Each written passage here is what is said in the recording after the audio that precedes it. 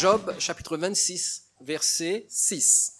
Devant lui, le séjour des morts est nu. Il est question de Dieu ici. Devant Dieu, le séjour des morts est nu. L'abîme n'a point de voile. L'abîme n'a point de voile. Et nous avons vu que pour Dieu, il n'y a aucun voile qui l'empêche de savoir ce qu'il y a dans l'abîme, c'est-à-dire dans la sphère de l'existence après la mort, que nous appelons communément l'au-delà. L'abîme ici désigne cet au-delà invisible à nos yeux, mais bien sûr visible aux yeux de Dieu.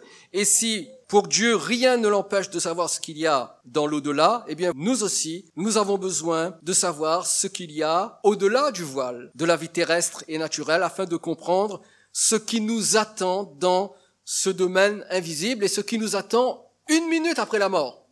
Lorsque vous et moi, nous cessons notre vie sur terre, que se passe-t-il une minute après notre mort? Le second verset que je vous invite à lire, que nous avons déjà vu la semaine dernière, mais il est important de le rappeler, c'est Hébreu chapitre 9, verset 27. Il est réservé aux hommes de mourir une seule fois, après quoi vient le jugement.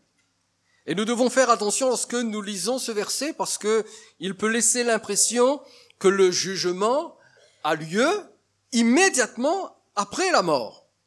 Mais ce n'est pas vrai parce que la Bible nous indique qu'il y a réellement un écart entre les deux. Entre le moment de notre mort et le moment où nous sommes jugés, il y a un écart et cet écart, nous l'appelons l'état intermédiaire. L'état intermédiaire, c'est-à-dire le laps de temps qui s'écoule entre le moment de la mort de chaque individu et celui où il ressuscitera pour être jugé. Alors, il y a bien sûr une exception à ce scénario parce que si les morts, d'une manière générale, ressuscitent, il y a quand même certains croyants qui, eux, seront vivants au moment de l'enlèvement de l'Église, et parce qu'ils seront vivants, donc, ils n'auront pas à ressusciter, parce que ne ressuscitent que les morts. Mais comme nous le croyons, Jésus reviendra, et au moment où Jésus reviendra, il enlèvera l'Église, et pour ceux qui sont vivants, donc, il n'y aura pas de résurrection, ils seront enlevés, et ils seront changés. 1 Corinthiens chapitre 15 verset 52 déclare, en un instant, en un clin d'œil, à la dernière trompette, la trompette sonnera et les morts ressusciteront incorruptibles et nous, c'est-à-dire nous qui sommes restés vivants lorsque le Seigneur Jésus reviendra, nous, nous serons changés. En d'autres termes, tout être vivant, croyant ou non, vient un jour où nous mourrons. Et lorsque le Seigneur reviendra, si nous sommes des croyants, si notre vie a été donnée à Jésus, lorsque Jésus reviendra, nous ressusciterons.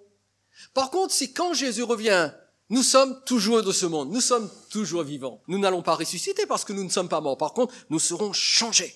Nous serons transformés, c'est-à-dire ce corps que nous revêtons aujourd'hui, ce corps mortel, ce corps qui se fatigue, qui tombe malade, qui vieillit, ce corps sera transformé, la Bible nous dit, en un clin d'œil, et il deviendra un corps glorieux, et nous rejoindrons le Seigneur. Mais que nous ressuscitions, ou que nous soyons enlevés avec l'Église, le jugement n'aura lieu qu'après que les croyants aient reçu leur corps glorifié, et cela ne se produit pas juste après la mort. Le corps glorifié, nous ne le recevons que lorsque Jésus revient. En d'autres termes, lorsqu'un croyant meurt aujourd'hui, son corps retourne à la poussière, son esprit va avec le Seigneur, nous allons y revenir tout à l'heure, mais il n'a pas de corps glorifié. Son esprit est juste avec le Seigneur. Par contre, lorsque Jésus reviendra, il va ressusciter et il va obtenir son corps glorifié. En ce qui concerne les non-croyants, ceux qui n'ont pas fait de Jésus leur Seigneur, ce jugement se produira encore plus loin. Si vous et moi, en tant que croyants, nous serons jugés lorsque Jésus reviendra, eh bien, pour ceux qui ne croient pas, ce jugement aura lieu à la fin des temps, juste avant leur condamnation éternelle et juste avant la création du nouveau ciel et de la nouvelle terre. Nous en avons parlé dans notre précédent message. Mais rappelons-le, entre l'existence physique sur terre et l'existence éternelle avec Dieu ou loin de Dieu, parce que nous pouvons vivre l'éternité avec Dieu ou en étant très loin de Dieu. Eh bien, entre ces deux existences, il y a ce qu'on appelle l'existence intermédiaire dans l'attente de la résurrection et du jugement. Et avant de découvrir où et comment se poursuivra l'existence une minute après la mort, c'est-à-dire ce que sera la véritable nature de cet état intermédiaire, nous avons besoin de séparer l'erreur de la vérité. Et dans notre précédente étude, samedi dernier, nous avons relevé deux croyances qui induisent en erreur de nombreuses personnes. Et ces deux croyances concernent l'expérience de mort imminente, ou EMI, ou NDE en anglais, l'expérience de mort imminente, et le contact avec les défunts. Donc voilà deux croyances importantes qu'il faut comprendre. Ce soir, nous allons examiner deux mauvaises interprétations de la Bible. Je dis bien de mauvaises interprétations de la Bible, c'est-à-dire des textes bibliques qui ont été mal interprétés et qui ont donné naissance à des doctrines, à des dogmes qui sont étrangers à la révélation de la parole de Dieu. La première de ces doctrines, elle est quand même très connue, c'est le purgatoire. Le purgatoire. Avant de dire quoi que ce soit sur le purgatoire, j'aimerais relever avec vous l'enseignement officiel de l'Église catholique sur le sujet. En d'autres termes, je vais lire avec vous des extraits, en fait je vais lire deux extraits de l'article 30 et de l'article 31 du catéchisme, c'est-à-dire du document officiel de la doctrine de l'Église catholique romaine qui date de 1992. L'article 30 dit ceci. Ceux qui meurent dans la grâce et l'amitié de Dieu, mais imparfaitement purifiés, bien qu'assurés de leur salut éternel, souffrent après leur mort une purification, afin d'obtenir la sainteté nécessaire pour entrer dans la joie du ciel. Et nous parlons ici d'un texte officiel, c'est la doctrine officielle de l'Église catholique romaine. L'article 31 dit ceci. L'Église appelle purgatoire cette purification finale des élus qui est tout à fait distincte du châtiment des damnés. L'Église a formulé la doctrine de la foi relative au purgatoire, surtout au concile de Florence et de Trente. Alors l'article 31 est significatif parce que nous y apprenons tout d'abord que le purgatoire est considéré comme une doctrine de la foi. Donc, elle fait autorité pour les catholiques romains. C'est pour cela qu'un catholique romain croit Dieu comme fer dans le, les, les, âmes du purgatoire et donne de l'argent et paye pour les messes en faveur des âmes du purgatoire. Ensuite, L'article 31 nous dit que cette doctrine a été formulée par deux importants conciles. Savez-vous ce que c'est qu'un concile de l'Église? Eh bien, un concile de l'Église, c'est tout simplement une assemblée d'évêques et de théologiens qui décident des dogmes, de la liturgie et de la discipline de l'Église. En d'autres termes, ce sont des réunions où on prend des décisions qui sont officielles et qui font force de loi au sein de l'Église. En d'autres termes, lorsqu'une croyance devient un dogme, dans l'Église, lorsqu'elle a été formulée par un concile, peu importe que ce concile ait eu lieu il y a mille ans ou deux ans, eh bien, cette doctrine est toujours en vigueur. Or, étant donné que la doctrine du purgatoire remonte aux deux conciles de Florence et de Trente, eh bien, les décisions qui ont été prises lors de ces conciles sont toujours en vigueur. Et celui du concile de Trente est terrible, justement, parce que laissez-moi vous lire quelque chose concernant le concile de Trente. Voici ce que déclare une des sessions de 1547, ça date donc du XVIe siècle, ayant pour titre Décret sur la justification. Regardez ce que ce décret déclare et qui date du concile de Trente. Si quelqu'un dit qu'à tout pécheur pénitent qui a reçu la grâce de la justification, l'offense est tellement remise et l'obligation à la peine éternelle tellement effacée et abolie, qu'il ne lui reste aucune peine temporelle à payer, soit en cette vie, soit en l'autre dans le purgatoire, avant que l'entrée au royaume du ciel puisse lui être ouverte, qu'il soit anathème. Alors, je reconnais que quand même, le texte n'est pas facile à comprendre. C'est assez nébuleux, vous ne trouvez pas? Laissez-moi vous le résumer. En d'autres mots, qu'est-ce que cet article nous dit? Cet article nous dit que quiconque annonce le pardon des péchés par la foi seule et déclare que le passage par le purgatoire est inutile, en d'autres termes, si quelqu'un dit de ton vivant, par ta foi seule en Jésus, tu es pardonné, tu n'as pas besoin de passer par le purgatoire pour une session de purification. Eh bien, que cette personne soit maudite. C'est important que vous et moi nous sachions quelle est la doctrine de l'Église catholique romaine par rapport au salut. Dans l'Église catholique romaine, on n'est pas sauvé en croyant en Jésus, contrairement à ce qu'annonce l'Évangile. Dans l'Église catholique romaine, oui, on croit en Jésus, mais ce n'est pas suffisant. après la mort, il faut encore aller souffrir dans le purgatoire. Et non seulement on souffre dans le purgatoire, mais il faut que les vivants continuent de faire des messes pour nous dans le purgatoire, pour que nous puissions sortir du purgatoire. En d'autres termes, notre salut ne repose pas sur l'œuvre de Jésus et encore moins sur notre foi, mais repose sur les œuvres religieuses que font les vivants pour nous. Alors la question est, qu'est-ce que le purgatoire exactement? Eh bien, selon l'Église catholique, le purgatoire, c'est un lieu intermédiaire entre l'enfer et le ciel, lieu intermédiaire où vont les âmes sauvées qui ne sont pas encore assez pures pour aller au ciel. En d'autres termes, selon le dogme de l'Église catholique romaine, tout être humain, tout catholique romain, n'est de toute façon pas assez pur pour aller au ciel.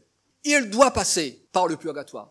Parce qu'aucun croyant n'est assez pur pour aller directement au ciel. Il faut passer par le purgatoire.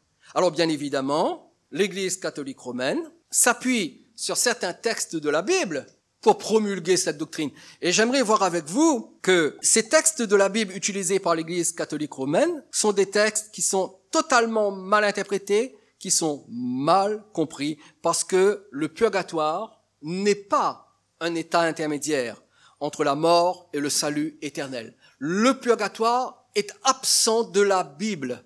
Le premier, c'est Matthieu chapitre 5, versets 25 et 26. rappelez-vous, nous parlons de ces textes qui sont utilisés dans l'Église catholique romaine pour dire qu'il faut passer par le purgatoire. Que dit ce verset? C'est Jésus qui parle ici. Il dit, accorde-toi promptement avec ton adversaire pendant que tu es en chemin avec lui, de peur qu'il ne te livre au juge, que le juge ne te livre à l'officier de justice et que tu ne sois mis en prison. Je te le dis en vérité, tu ne sortiras pas de là que tu n'aies payé le dernier quadrant. Et les théologiens catholiques s'appuient sur ce texte en prétextant que il y a aussi des dettes spirituelles qui doivent être entièrement payées.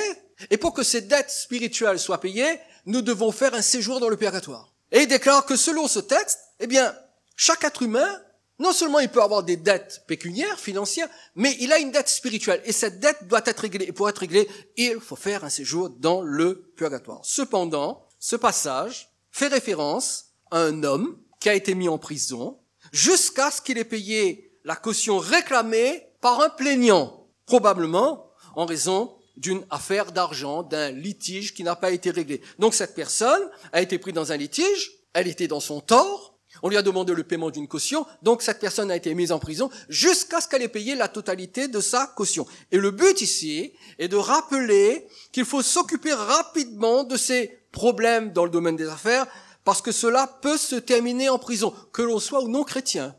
Si on ne s'occupe pas avec sérieux de nos affaires, nous pouvons en supporter les conséquences. Et tout ceci, dans ces deux versets, ça n'a absolument rien à voir avec une dette spirituelle qui serait réglée dans le purgatoire. C'est uniquement une affaire d'ordre financier et matériel sur cette terre. Dans ces deux versets, Jésus ne parle absolument pas du monde invisible. Il ne parle pas de l'au-delà. Il parle d'une situation sur cette terre. Un second texte. Matthieu chapitre 12, verset 32. Quiconque parlera contre le Fils de l'homme, il lui sera pardonné. Mais quiconque parlera contre le Saint-Esprit, il ne lui sera pardonné ni dans ce siècle, ni dans le siècle à venir. Et selon certains, ce verset, qui se rapporte bien sûr au blasphème contre le Saint-Esprit, indiquerait qu'il y a des péchés qui peuvent être pardonnés dans le siècle à venir, c'est-à-dire après notre mort. Donc si certains péchés peuvent être pardonnés après la mort dans le siècle à venir, cela veut bien dire que quelqu'un peut mourir, ensuite aller dans le purgatoire, afin que ce péché qui n'a pas été pardonné de son vivant puisse être pardonné dans l'au-delà. Ce verset ne dit pas qu'un quelconque pardon puisse avoir lieu après la mort. Il dit plutôt le contraire. Ce verset indique juste qu'il y a un type de péché qui ne sera jamais pardonné. Ni aujourd'hui, ni dans l'éternité. Et ce verset ne dit pas qu'un péché puisse être pardonné dans l'éternité. Troisième passage. Matthieu chapitre 18, versets 34 et 35. Et son maître hérité le livra au bourreau jusqu'à ce qu'il ait payé tout ce qu'il devait. C'est ainsi que mon Père céleste vous traitera si chacun de vous ne pardonne pas à son frère de tout son cœur. Et il est clair, d'après le contexte de ce verset, qu'il est question de la nécessité pour chacun d'entre nous de pardonner à notre prochain si nous ne voulons pas subir le jugement de Dieu qui, lui, nous a pardonné en Christ. Parce que de même que Dieu nous a pardonné, nous devons pardonner à notre prochain.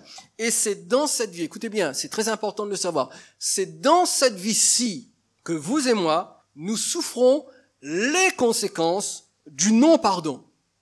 Lorsque je ressens, lorsque j'entretiens de la rancune, de la colère, de la haine contre mon prochain, qu'est-ce que je vais expérimenter? Je vais expérimenter des problèmes mentaux et des problèmes émotionnels. Mais c'est dans cette vie-ci, pas dans l'au-delà, dans cette vie-ci. Et Jésus nous met en garde contre la souffrance que peut produire dans notre vie présente le non-pardon. Mais Jésus ne parle pas ici du purgatoire. Il dit juste que si de notre vivant nous ne pardonnons pas, nous allons souffrir. Régler le problème du pardon par rapport aux autres. Pardonnez à ceux qui vous ont fait du tort. C'est, inclus dans la prière de Jésus. Pardonne-nous nos péchés comme nous pardonnons à ceux qui nous ont offensés. Parce que si nous ne pardonnons pas, nous allons souffrir les conséquences du non-pardon ici et maintenant. Et enfin, le dernier texte utilisé pour justifier le purgatoire, mais utilisé à tort, c'est 1 Corinthiens chapitre 3 verset 15. Si l'œuvre de quelqu'un est consumée, il perdra sa récompense. Pour lui, il sera sauvé, mais comme au travers du feu. Et les défenseurs, les avocats du purgatoire se servent de l'expression sauver, mais comme au travers du feu, pour défendre leur doctrine en disant, écoutez, c'est simple, quand vous mourrez, vous allez quand même passer par le feu du purgatoire. Et ce feu va vous raffiner. Il va vous purifier de toutes ces fautes que vous avez amenées avec vous dans l'au-delà. Alors, vous allez être purifié par le feu du purgatoire afin d'être prêt à entrer dans le ciel. Mais ici, Paul ne parle absolument pas de cela. De quoi parle-t-il? Paul dit que ce sont ses œuvres qui seront jugées. Pas le croyant, mais ses œuvres, c'est-à-dire tout ce qu'il a fait de son vivant. Si vous appartenez à Jésus, tout ce que vous faites en tant que chrétien sur cette terre, toutes vos œuvres seront jugées pour déterminer votre degré de récompense dans l'au-delà. Mais vous-même, vous, vous êtes sauvés. Vous irez avec le Seigneur. Et si notre œuvre n'est pas pure, si nous avons servi Dieu, mais avec de mauvaises motivations, par exemple satisfaire notre ego ou par orgueil, eh bien cette œuvre, si elle n'est pas pure, elle sera détruite par le feu. Mais vous et moi, nous nous serons sauvés. Donc c'est de cela dont l'apôtre Paul parle. Il ne parle pas du jugement du croyant, il parle du jugement des œuvres du croyant. Et cette œuvre peut être consumée par le feu, mais pas le croyant, parce qu'il n'y a plus de condamnation pour ceux qui sont en Jésus-Christ. Et ces mauvaises interprétations de ces quatre textes que je viens de voir avec vous sont en contradiction totale avec la parole de Dieu. Parce que la Bible déclare que lorsque vous et moi nous sommes sauvés, lorsque nous sommes pardonnés, savez-vous ce que Dieu fait? Dieu efface nos péchés au point où il ne se souvient plus de nos péchés. Il ne s'en souvient plus. Hébreu chapitre 8 verset 12 déclare parce que je pardonnerai leurs iniquités et que je ne me souviendrai plus de leurs péchés. Si votre confiance est placée en Jésus, vous êtes pardonné, vos péchés sont effacés et Dieu ne s'en souvient plus. Donc il est hors de question pour lui, lorsque vous mourrez, de s'adresser à vous en disant, écoute mon ami, tu as encore quand même pas mal de péchés. Je vois que ton compte est encore bien chargé. J'ai mon petit carnet ici. Regarde tous ces péchés-là. Je les ai notés. Je ne les ai pas oubliés. Je les ai notés. Mon ami, tu as besoin d'une phase de purification. Alors, dix mille ans dans le purgatoire et nous verrons si après tu es prêt pour le ciel. Est-ce que Dieu parle ainsi? Non, Dieu dit au contraire, je ne me souviens plus de tes péchés. Ils sont effacés. Le sang de mon fils les a effacés. Ils ont été entièrement gommés. Je ne m'en souviens plus. Et ajoutons à cela que la purification de nos péchés a été accomplie une fois pour toutes. Quand Dieu nous purifie, il le fait une fois pour toutes. Il n'a pas besoin de revenir dessus. Il le fait une fois pour toutes par le seul et l'unique sacrifice de Jésus à la croix et non pas par des messes pour les âmes du purgatoire. Je vous en supplie, mes chers amis, n'investissez plus jamais rien dans une messe pour les âmes du purgatoire. Non seulement cela ne sert à rien, mais deuxièmement, c'est une offense au sacrifice de Jésus. Jésus est mort tout a été réglé.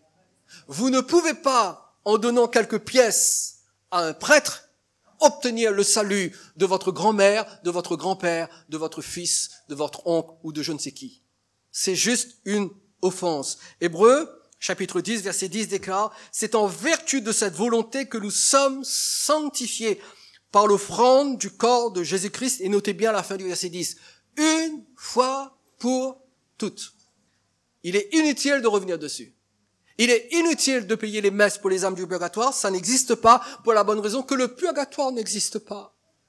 Vous êtes en train de perdre votre argent, investissez-le d'une meilleure manière. Ne perdez pas votre argent. Je veux que vous sachiez que le purgatoire est apparu à partir du sixième siècle. Et c'est le pape Grégoire le Grand qui, à mon humble avis, a prouvé qu'il était bien petit, qu'il a commencé à exposer la doctrine du purgatoire. Donc, cette doctrine était absente de la première église. D'ailleurs, elle est absente de l'enseignement des apôtres. Pour vous dire la vérité, seule l'église catholique romaine et l'église orthodoxe acceptent la doctrine du purgatoire. Aucune autre dénomination d'église n'y adhère parce qu'elle est entièrement contraire à l'évangile et elle doit être totalement rejetée. Alors, puisque nous sommes dans l'aspect négatif de notre question. Que se passe-t-il une minute après la mort? Vous voyez que j'y viens, hein? Je fais un pas de plus. Que se passe-t-il une minute après votre mort? Je peux déjà vous dire ce qui ne se passera pas. Vous n'irez pas au purgatoire. Et vous n'avez pas besoin de demander à vos enfants et aux membres de votre famille, ah, surtout, oublie pas, fais un peu de messe pour libérer moi du purgatoire. C'est pas la peine. Il y a un moyen plus sûr. Donnez votre vie à Jésus. Faites de Jésus votre Seigneur. Placez votre confiance en lui. Acceptez son sacrifice à la croix. Il est gratuit, vous n'avez rien à payer, parce que le Christ lui a déjà tout payé. Donc, comprenons bien que cette doctrine est contraire à la parole de Dieu. C'est une invention d'hommes religieux et cette invention a aussi des motivations qui ne sont pas pures, parce qu'en fait, c'était à une époque où l'Église avait besoin de beaucoup d'argent. Mais nous n'allons pas rentrer là-dedans. Je veux juste que vous sachiez que la doctrine du purgatoire est tout simplement absente de la parole de Dieu. Cela m'amène à la deuxième doctrine, qui elle aussi est basée sur une mauvaise interprétation de la parole de Dieu, le sommeil de l'âme. Le sommeil de l'âme. Si le purgatoire est une doctrine propre à l'Église catholique ou à l'Église orthodoxe. Le sommeil de l'âme est une doctrine enseignée par les adventistes du septième jour et par les témoins de Jéhovah.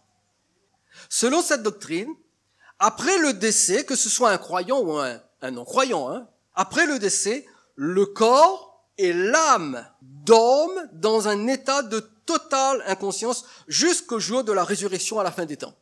Et c'est ce qu'on appelle le sommeil de l'âme. En d'autres termes, lorsque tu meurs, c'est comme si tu dormais. Quand vous dormez, qu'est-ce qui se passe? Vous n'avez conscience de rien du tout. Vous dormez. Eh bien, selon cette doctrine du sommeil de l'âme, quand vous mourrez, c'est comme si vous dormiez. Plus de conscience, absolument plus rien ne se produit. Alors, il y a des textes quand même qui sont utilisés pour soutenir cette doctrine. Et voici les principaux textes de la Bible sur lesquels s'appuie les défenseurs de la doctrine du sommeil de l'âme. Bien sûr, textes qui, comme pour le purgatoire, sont des textes qui sont mal interprétés. Des textes qui sont sortis de leur contexte, qui sont abusés et qui sont bien sûr mal interprétés. Regardez ces trois textes successivement avec moi. Premièrement, le psaume 13, le verset 4. Regarde, réponds-moi éternel mon Dieu. Donne à mes yeux la clarté afin que je ne m'endorme pas du sommeil de la mort. Alors ici, il y a quand même deux termes très précis. M'endormir, sommeil de la mort. Alors le lien est vite fait hein, pour les avocats du sommeil de l'âme. Regardez le second texte. Daniel chapitre 12 verset 2. Plusieurs de ceux qui dorment dans la poussière de la terre, tous ceux qui sont morts, qu'est-ce qu'ils font? Ils dorment dans la poussière de la terre, se réveilleront les uns pour la vie éternelle, les autres pour l'opprobre, pour la honte éternelle. Donc encore une fois, pareil, on parle du sommeil de l'âme. Et enfin le dernier texte, Acte chapitre 7, verset 60. Puis, s'étant mis à genoux, il est parlé ici d'Étienne, le premier martyr de l'Église chrétienne. Il s'écria d'une voix forte, Seigneur, ne leur impute pas ce péché. Et après ces paroles, qu'est-il écrit? Il s'endormit. Il s'endormit. Alors les avocats du sommeil de l'âme disent, regardez, vous voyez, c'est écrit, quand quelqu'un meurt, son âme s'endort. La Bible dit, il s'endormit. Étienne, sa mort, c'est un sommeil. Il s'est endormi. Mais que signifient ces versets exactement?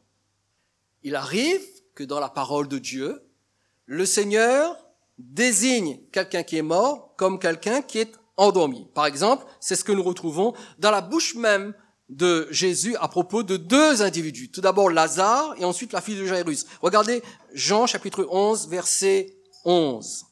Après ces paroles, il leur dit, Lazare mon ami dort, mais je vais le réveiller.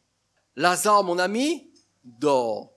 Mais vous et moi, nous savons, en lisant la suite du texte, que ce que Jésus a voulu dire, d'ailleurs ensuite il le dit directement à ses disciples, qu'en réalité Lazare est mort. Mais là il dit, Lazare dort. Pourquoi est-ce qu'il dit Lazare dort?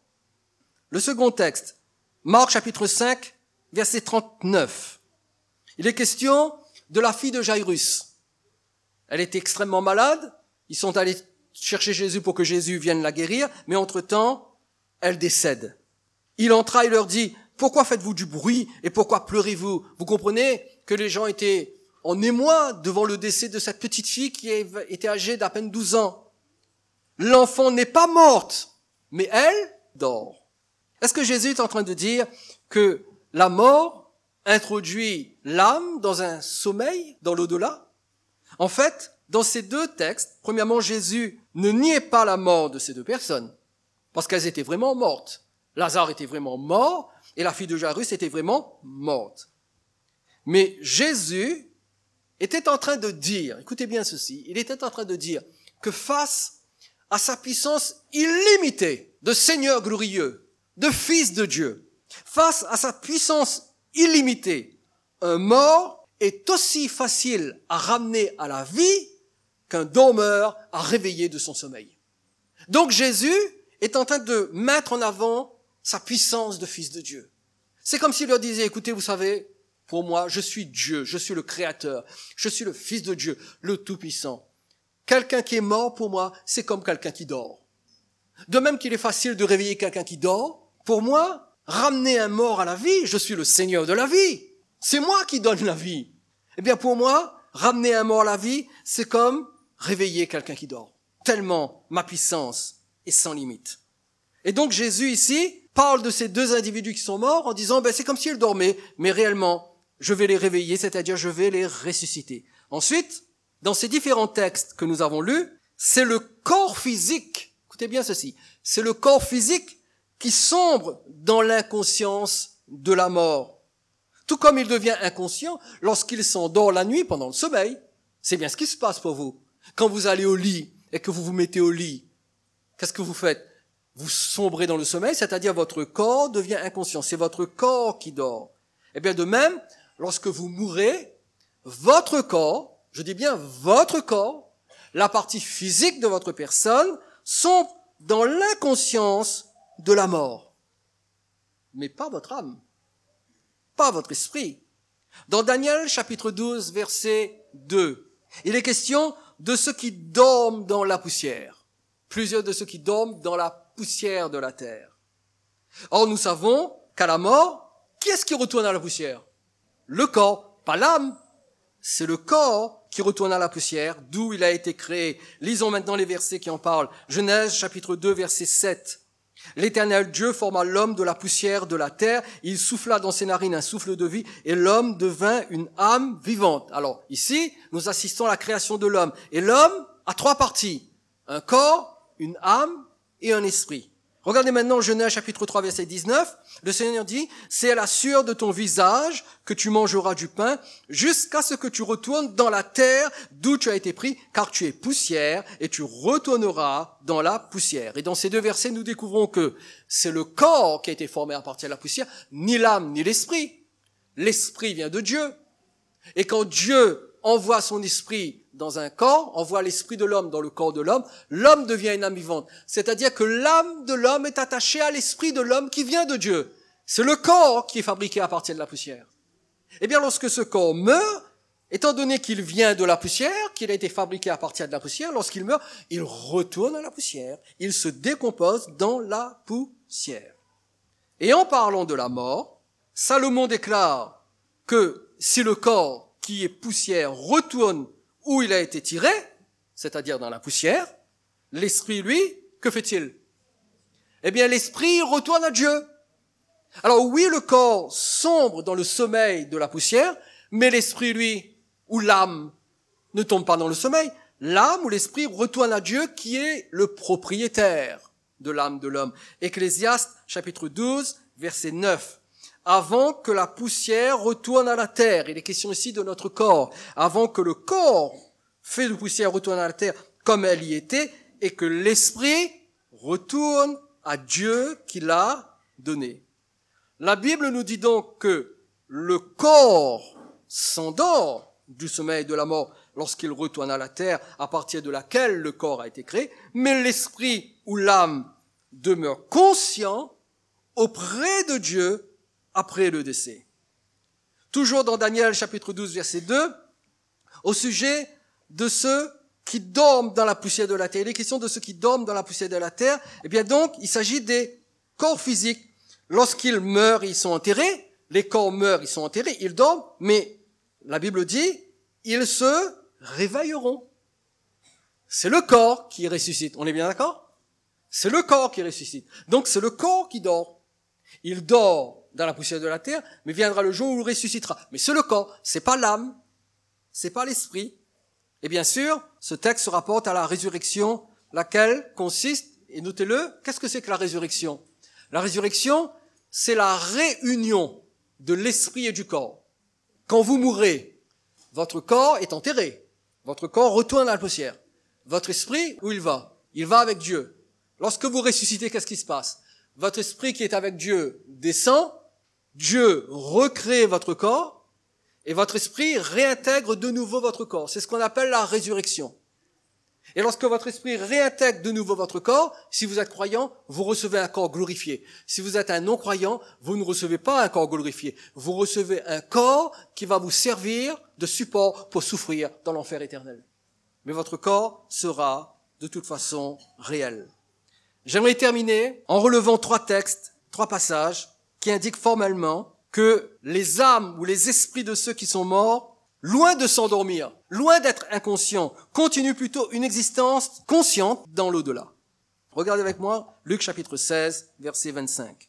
Abraham répondit, Mon enfant, souviens-toi que tu as reçu tes biens pendant ta vie, et que Lazare a eu les maux pendant la sienne. Maintenant, il est ici consolé, et toi tu souffres.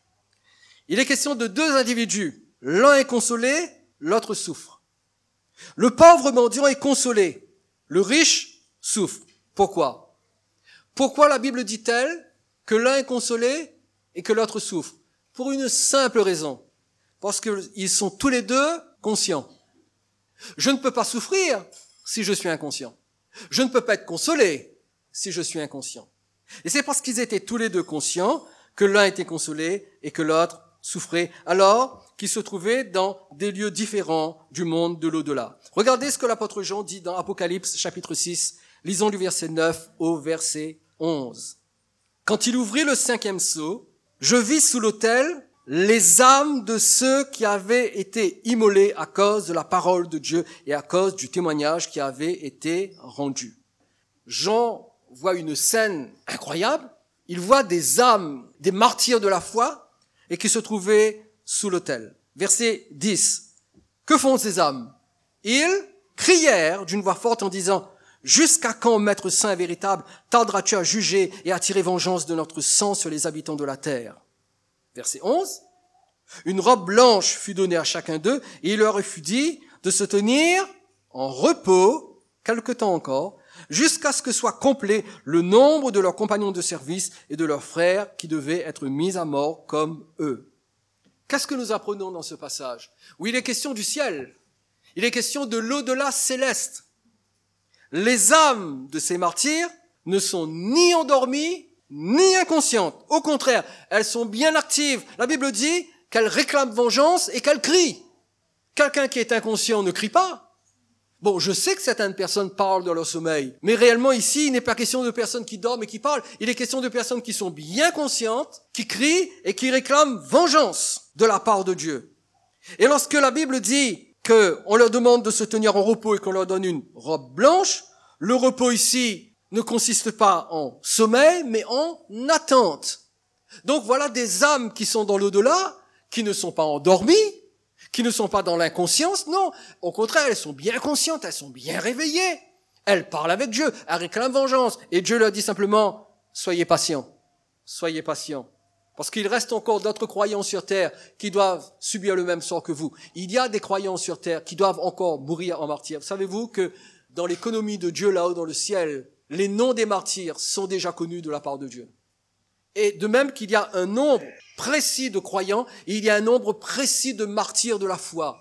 Et Dieu leur dit, eh bien, vous devez encore attendre jusqu'à ce que soit complet le nombre de vos compagnons qui mourront en martyr comme vous. Alors, attendez, soyez patients. Mais à aucun moment, Dieu leur dit, écoutez, je vous donne un somnifère très efficace, vous le prenez, vous l'avalez, vous dormez tout de suite, il est presto, pendant des millions d'années. Je vous donne un somnifère, dormez mes amis. Non. Dieu leur dit simplement, attendez, attendez. Et j'aimerais terminer avec ce dernier verset. Philippiens chapitre 1, verset 23. L'apôtre Paul ici déclare quelque chose d'incroyable. Il dit, je suis pressé des deux côtés. J'ai le désir de m'en aller et d'être avec Christ, ce qui de beaucoup est le meilleur.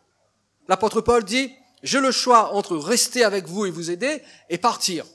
Bien sûr, je préfère partir. Et plus loin, il dira, mais à cause de vous, je préfère rester. Mais qu'est-ce qu'il dit ici Je le désire de m'en aller. Pourquoi? Si le croyant quitte la terre, si le croyant décède, où va-t-il? Il va avec Christ. il dit, ce qui de beaucoup est le meilleur. Je ne sais pas si vous le savez, mes chers amis, mais en tant que croyant, quitter cette terre, aller avec Christ, est de loin meilleur que tout ce que vous pouvez vivre sur cette terre. Vous pouvez avoir de magnifiques privilèges. Vous pouvez être très riche, très beau, très intelligent, avoir tout ce qu'il vous faut, bénéficier des meilleurs privilèges qui existent sur cette terre. Mais rien, rien ne peut égaler la gloire et la béatitude que vous allez expérimenter dans le ciel lorsque vous quitterez cette terre. Et Paul dit, j'ai le désir de m'en aller avec Christ, ce qui est de beaucoup le meilleur. Paul n'aurait pas dit qu'être avec le Christ dans l'au-delà est le meilleur, si cela consistait à sombrer dans le sommeil de l'inconscience. Il n'aurait jamais dit que c'était le meilleur si partir dans l'au-delà consiste tout d'un coup à tomber dans un sommeil de l'âme, à dormir pendant des millions d'années en attendant la résurrection. Non, être avec Christ, c'est une expérience consciente, glorieuse. Et c'est ce qui attend tout croyant. C'est l'espérance de tout croyant. Est-ce que Jésus est votre sauveur? Est-ce que Jésus est votre Seigneur? Faites de Jésus votre Sauveur et votre Seigneur avant de quitter cette salle, parce que nous ne savons pas ce que demain vous réserve. Votre vie terrestre peut se terminer d'une minute à l'autre. Vous ne pouvez pas dire que vous allez être encore vivant l'année prochaine en 2019. Je souhaite que vous soyez vivant. Mais si vous quittez cette terre, où irez-vous dans l'au-delà? Je souhaite que vous alliez rejoindre Jésus parce que c'est de beaucoup ce qu'il y a de meilleur dans la vie. Maintenant que nous avons examiné les fausses croyances, et les mauvaises interprétations de la Bible, nous pouvons maintenant nous intéresser au véritable état intermédiaire au-delà du voile. Qu'est-ce que nous avons appris ce soir?